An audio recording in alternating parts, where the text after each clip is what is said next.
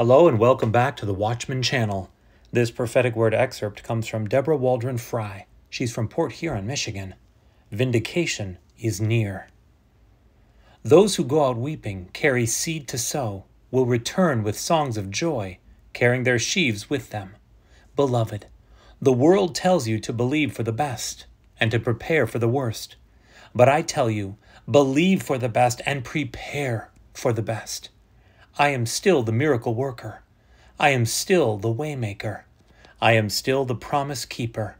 I am still the mender of broken hearts, the one who will wipe away all of your tears. I am he who is called trustworthy. I am the faithful one and the true.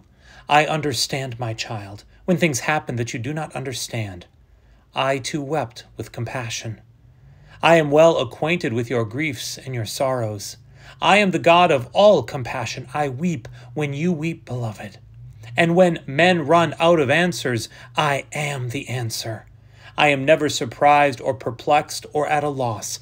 I am that I am. I do not change. I see the end from the beginning, and I have made a way of escape. It was for the joy set before him that your Savior endured the cross. If the rulers of this age had known, they would have never crucified the Lord of glory. For this is your victory, your faith. This is how you fight your battles. Keep trusting, my child. Keep believing. It is the only work that's required to believe on the one whom God has sent.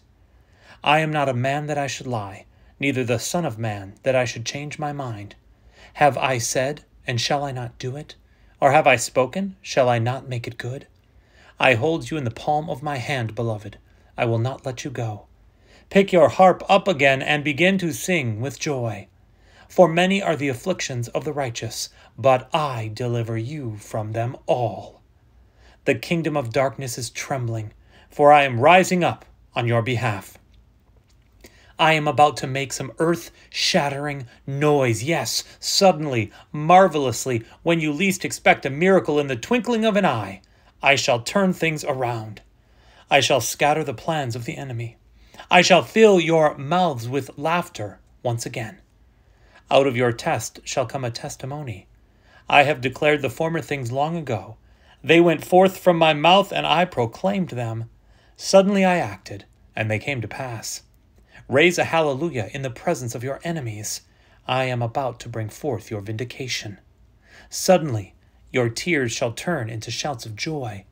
I am doing great things for you, and you shall be glad. And so it shall be now, beloved. Look up, my child.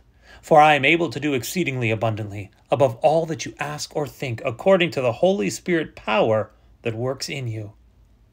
You shall no longer weep bitterly like the willow but your heart shall sing with joy. No weapon that is fashioned against you shall succeed.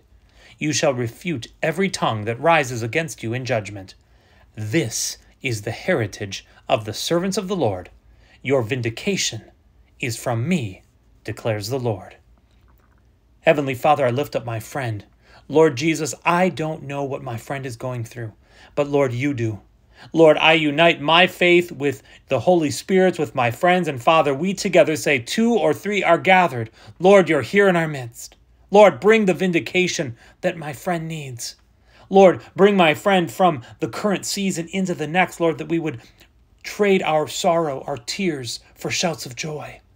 Lord, that we would continue to believe in you, friend, even if all you can do is, is a, a hollow confession of, I believe, Lord. Keep saying it. Keep doing it. God is here. He is working on your behalf. He will turn your grief and sorrow into joy, abundant joy. You will sing, friend. And remember this time our God is an awesome God. In your mighty and matchless and vindicated name, Jesus, we declare, Amen.